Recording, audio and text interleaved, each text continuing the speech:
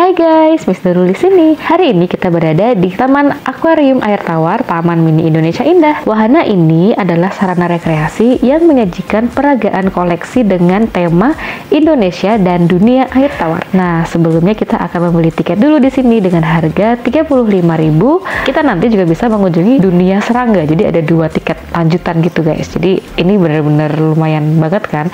Nah, di sini kita akan melihat keanekaragaman hayati air tawar dan juga kalau kita lihat itu tuh banyak banget ikan-ikan yang belum pernah aku lihat sebelumnya sih. Nah, kayak ini nih, lucu-lucu banget dan ini bener-bener sangat-sangat edukatif banget terutama kalau kalian memiliki keluarga besar ataupun anak-anak yang ingin belajar tentang spesies-spesies bawah laut itu ini sangat recommended banget sih karena tempatnya tuh juga lumayan luas juga gitu. Nah, taman ini letaknya itu ada di selatan kawasan TMI.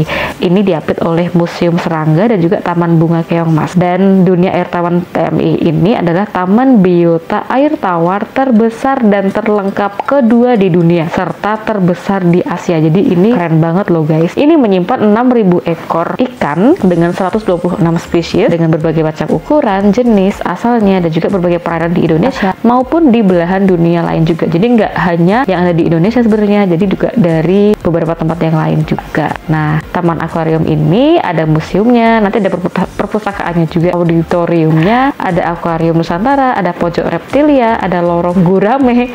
Jadi ini macam-macam deh di sini dan bener-bener mind blowing banget ketika kita di sini. Jadi ini tuh bagus sih kalau mahasiswa mahasiswa gitu kalau untuk penelitian ataupun observasi. Kalau kalian suka banget sama ikan ya ataupun mau berbisnis ikan hias itu juga uh, lumayan sih ini tempat yang sangat cocok untuk kalian. Nah di sini juga ada ikan air tawar yang asli Indonesia kayak ikan arwana, ada ikan hiu gergaji, ada ikan apa, ada ikan sumpit, ikan buntal, ada ikan pari, kemudian ada ikan dari uh, luar negeri juga ya, kayak yang dari Sungai Amazon, itu ada ikan arapaima, ada ikan piranha juga, kemudian itu dari Amerika Selatan, ada ikan buta, ikan kupu-kupu, ikan Chinese hyphin, itu dari sungai yang se-Cina, dan ada beberapa ikan-ikan kecil kayak ikan gupi, ikan moli, dan ikan pelati. Jadi di sini lumayan lengkap dan ini bener-bener aku rekomendasiin banget sih. Nah, kalau kalian itu yang berprofesi sebagai guru, guru guru sains atau mahasiswa-mahasiswa yang perikanan itu pasti ini tempat yang salah satunya sebagai rekomendasi banget nih. Ketika kalian masuk di sini ya nanti kita juga akan ada tiket lanjutannya kayak tadi aku pernah cerita. Nanti kita bisa ke Taman Dunia Serangga. Jadi nggak cuman ikan aja tapi juga serangga juga. Oke, sekarang saatnya kita jalan-jalan untuk melihat ikan yang lebih lengkap guys. Enjoy!